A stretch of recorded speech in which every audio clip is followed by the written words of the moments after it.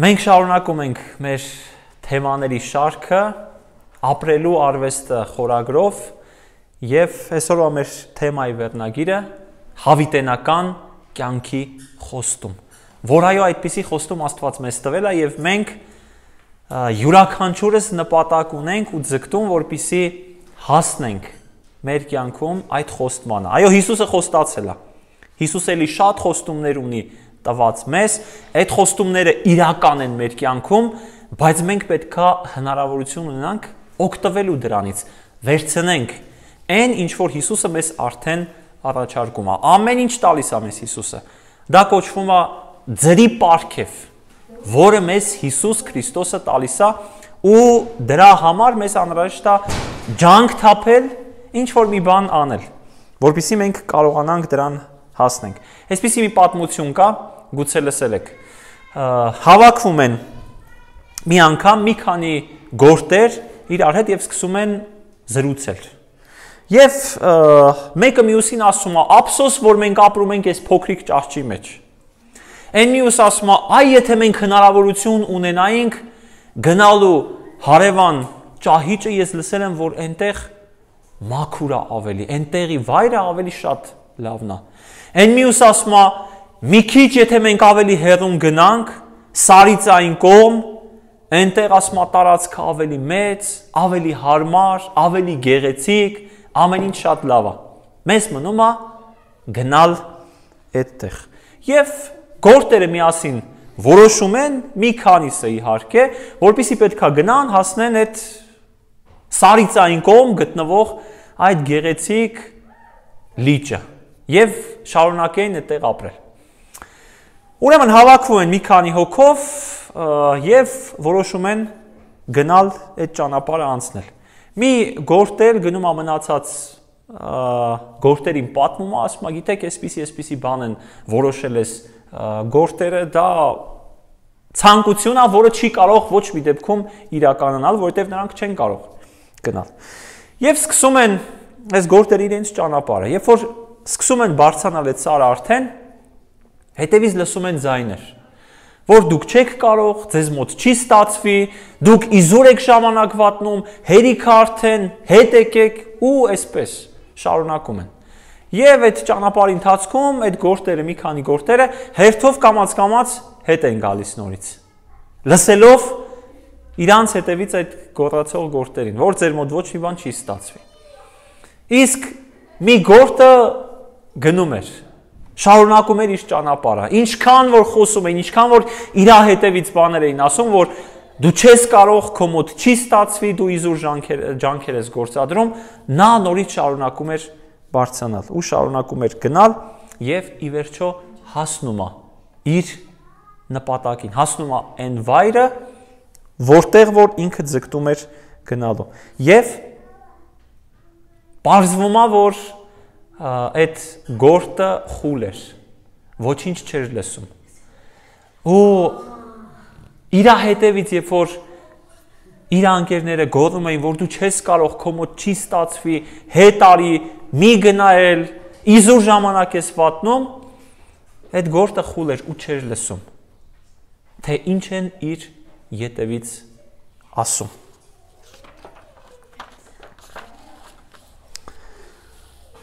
Այսօր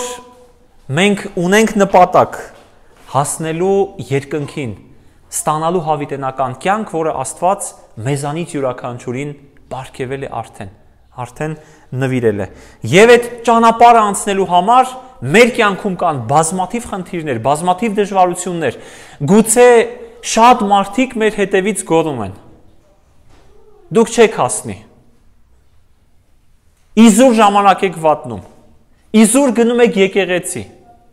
Իզուր եք ձեր կյանքում ընդունել Հիսուս Քրիստոսին։ Իզուր եք մկրտվել։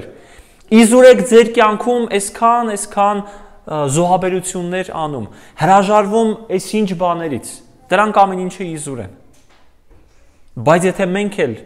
այդ գործի նման խուլ ենք ձևանում եւ չենք լսում, թե ինչ են խոսում շրջապատում մարդիկ, ես համոզված եմ, որ մենք կհասնենք ինչին, որ մենք ավելի շատ ենք ձգտում։ Այո, մեզ անհրաժեշտ է ջանք գործադրել, աշխատանք կատարել։ Թե չէ, երբ որ նստենք մեր տեղում ու սպասենք, որ մենք կարժանանանք հավիտենական կյանքին, այդպես չի լինի։ Հիսուսը ասում է. «Նեղա այն դուրը, փշոտ քարքարոտ ճանապարհը, որը տանում է դեպի հավիտենական կյանք»։ Բայց լայն է այն դուրը, ճանապարհը հարթ, ուղիղ, ոչ մի խոչընդոտ չկա, բայց այդ ճանապարհը տանում է ցավոք սրտի ուր կործանում։ Այո, այդպես է մեր կյանքը։ Դրա համար մենք միասին ընտրել ենք։ Այո, առաջին հայացքից գուցե դժվար թվացող ճանապարհը, բայց ես վստահ եմ, որ այդ ճանապարհում Աստված գտնվում է մեզ հետ եւ մեր կողքին։ Մաթեոսի ավետարանում 7-րդ գլուխ 13-14 համարների մեջ կարդում ենք հետևյալ խոսքերը։ 7-րդ գլուխ 13-14 համարներ։ Նեղ դռնով ներս մտեք։ Տեսեք ինչիա կոչ անում մեզ Սուրբ Գիրքը։ Նեղ դռնով ներս մտեք, որովհետև լայն է դուռը եւ ընդհարցակ ճանապարհը, որ կորուստ է տանում։ Եվ շատերն են նրանով գնացողները Քանի նեղ է դուռը եւ նեղվածք է ճանապարհը, որ տանում է կյանք եւ քիչ են նրան գտնողները։ Այսինքն այն ճանապարհը, որը հարթ է, որը ուղիղ է, որը լավ է։ Ասում այդ ճանապարհով գնացողները շատ են։ Բազմությունը շատ-շատ է։ Մարդիկ այդ ճանապարհն են ընտրում եւ գնում, բայց այն ճանապարհը, այն դուռը, որը նեղ է, որը դժվար է, որը քարքարոտ է, ասում այդ ճանապարհով գնացողները շատ քիչ են։ Բայց այդ ճանապարհը տանում է մեզ դեպի հավիտենական կյանք։ Ես համոզված եմ, որ մենք բոլորս ուզում ենք գնալ այդ նեղ ճանապարհով։ Հիսուս այո խոստացել է մեզ, որ մեր կյանքը այդքան էլ հեշտ չի լինի։ Նայեք, Աստվածաշնչում մարգարեների կյանքը ինչպիսին էր։ Ով էր անհոգ կյանքով ապրում Ոչ մեկ։ Այն մեկը պատերազմի մեջ էր, այն մեկը վախի մեջ էր, այն մեկը վտանգի մեջ էր, այն մյուսը սովի մեջ էր, այն մյուսը ծարավի մեջ էր։ Բոլորի կյանքը այդպես է եղել։ Բայց Աստծո, որ Աստված նրանց չի թողել։ Այն մարգարենով որ սոված էր, Աստված թրջունների միջոցով էր նրան կերակրում։ Այն մարգարենով որ ծարավ էր, Աստված ջուրեր ուղարկում։ Այն ժողովուրդը ովքեր որ ծարավ էին, սոված էին, հակոստի կարիք ունեին, խնդիր ունեին, Աստված այդ բոլոր խնդիրները լուծում էր։ Դավիթ Դավիթը ասում է այո Սաղմոս 2-ում, որ ես երեխա էի, մեծացա եւ չտեսա մի հատ արթարին, որ հաց մուրար։ Այսինքն չկա այդպիսի բան, որ մարդը իր կյանքում արթար լինի, նվիրված Աստծուն ու իր կյանքում ինչ որ անհնարին բան լինի, որ ինչ որ խնդիր լինի այդ մարդու կյանքում։ Այո, Աստված խոստացել է, որ մեզ ամեն ինչ կշնորհի։ Ամեն բան մեզ կտա եւ դրա հետ մեկտեղ նաեւ հավիտենական կյանքը։ Ղուկասի ավետարանում 13-րդ գլուխ 24-25 համարներում 13-րդ գլուխ 24 եւ 25 համարներում գրված է. «Ջանք արեք, որ նեղ դռնով ներս մտնեք, որովհետև ասում եմ ձեզ, շատերը կուզեն մտնել եւ չեն կարողանա»։ Նրանից հետո որ տան տերը կելնի եւ դուռը կփակի եւ կսկսեք դուրսը կանգնել եւ դուռը թակել եւ ասել. Տեր, Տեր, բաց մեզ։ Եվ նա պատասխանելով կասի ձեզ. Չեմ ճանաչում ձեզ, թե ինչ տեղից եք։ Այո, Աստվածաշունչը մեր մեզ զգուշացնում է, որ մենք պետքա ջանք անենք։ Այդ գործի պատմությունը, որը մենք լսեցինք սկզբում, ջանք էր անում, աշխատում էր։ Այո, եթե մենք ուզում ենք նեղ դռնով ներս մտնել, որը տանում է դեպի հավիտենական կյանք, մեր կյանքում կլինեն դժվարություններ եւ խնդիրներ, բայց կարևորը դա չի։ Կարևորը այն է, որ Աստված այդ խնդիրների մեջ քայլում է մեզ հետ ու մեր կողքին ու երբեք մեզ չի թողնում։ Եվ ինքը խոստացել է, որ ես ձեզ հետ եմ մինչև աշխարի վերջը։ Ամեն օր Մինչև աշխարհի վերջ Աստված խոստացել է, որ ինքը գտնվում է մեզ հետ եւ մեր կողքին։ Այո, ասում է դուրը նեղ է եւ մենք պետք է ջանք անենք, որ այդ նեղ դռնով ներս մտնենք։ Շատեր ասում են կուզեն մտնել, բայց չեն կարողանա։ Շատերը կցանկանան մտնել այդ դռնով, բայց նրանք չեն ցանկանա եւ հետո կգան եւ կասեն. Տեր, Տեր, բաց մեզ, նա էլ պատասխան կտա եւ կասի. Ես ձեզ չեմ ճանաչում, թե դուք որտեղից եք։ Չնայած որ այդ մարդիկ, այս մարդիկ ովքեր Հիսուսին ասում են. Տեր, Տեր, դուռը բաց, ոնց թե մենք էլ ենք ճանաչել քեզ։ Մենք էլ քեզ գիտենք, մենք էլ ենք եկեղեցի եկել։ Մենք էլ ենք ապրել հոգևոր սկզբունքներով։ Բայց Հիսուսը ասում է ես ձեզ չեմ ճանաչում։ Մեզ անհրաժեշտ է որպիսի այսօր ընդունենք Հիսուս Քրիստոսին մեր կյանքում, նրա տված ապարքևը եւ օգտվենք առավելություններից, որը Աստված մեզ բաշխում է։ Հովանես 14-րդ գլխում առաջի 3 համարների մեջ Ձեր սրտերը թող չխռովեն, Աստծուն հավատացեք եւ ինձ հավատացեք։ Իմ հոր տանը շատ բնակարաններ կան,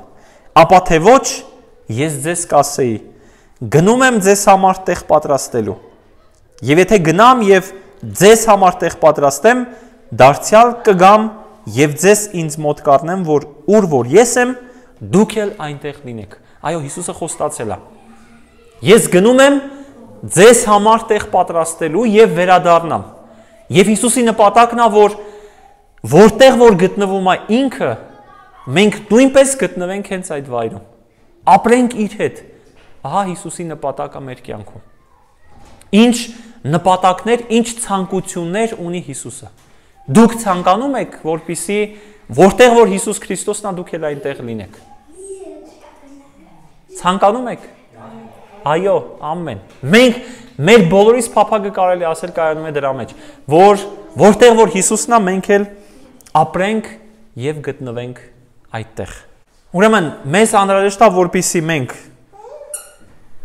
ընդունենք Հիսուս Քրիստոսին որպես մեր անձնական Տեր եւ Փրկիչ։ Երկրորդը մենք պետք է պահենք Աստծո պատվիրանները. Սուրբ եւ մենք պետք է վարենք քրիստոնյային վայել կյանք։ Այս երեք սկզբունքներ, այսինքն եթե մենք ուզում ենք որպիսի մտնենք երկնքի արքայություն, հիշում եք երիտասարդ, երբ որ գալիս է Հիսուսին ասում է. «Ինչ անեմ, որ հավիտենական կյանքը ժառանգեմ»։ Հիսուս ասում է պատվիրանները պահիր։ Պատվիրանները պահիր։ Ընթունիր Աստծուն որպես քո փրկիչ եւ քրիստոնյային վայել կյանքով ապրիչ։ Այսինքն մտածիր նաև ուրիշների մասին, ոչ թե քո հարստությունը միայն քեզ համար, ասում է քո ունեցածից ծախիր նաև դուր մարդկանց կարիքավորներին եւ գանց կունենաս երկնքում։ Երկրորդ Կորինթացիս 4-րդ գլուխ 17-րդ համար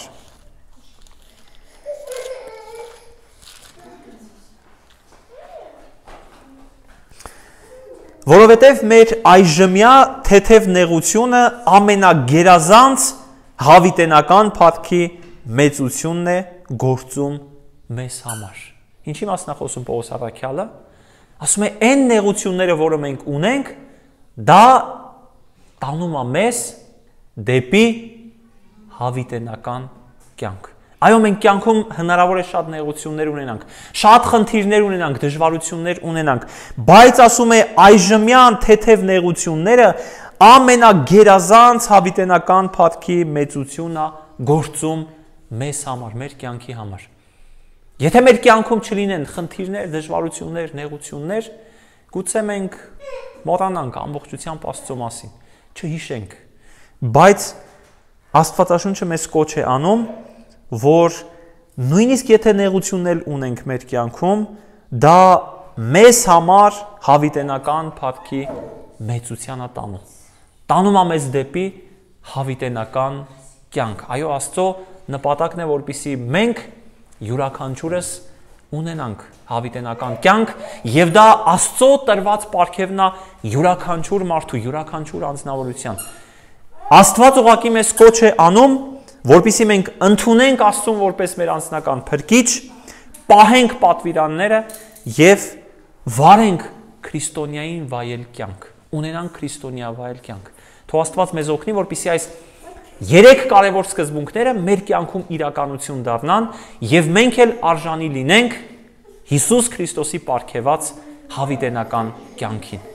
Ամեն։